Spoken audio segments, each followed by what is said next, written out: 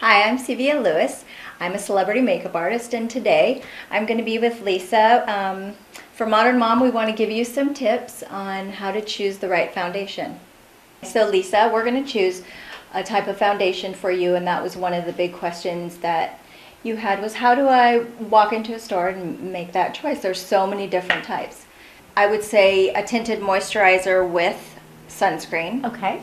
That would give you a light coverage and moisture in your face. If you want to get a little more coverage, maybe under your eyes, a lot of us um, have little spots around our, you know, anywhere that we want to cover up. Yes. We would put some concealer, just dab a little bit, maybe under the eyes or any little spots that you see that you need to, you kind of want to just fade out. A lot of spots. This is no makeup.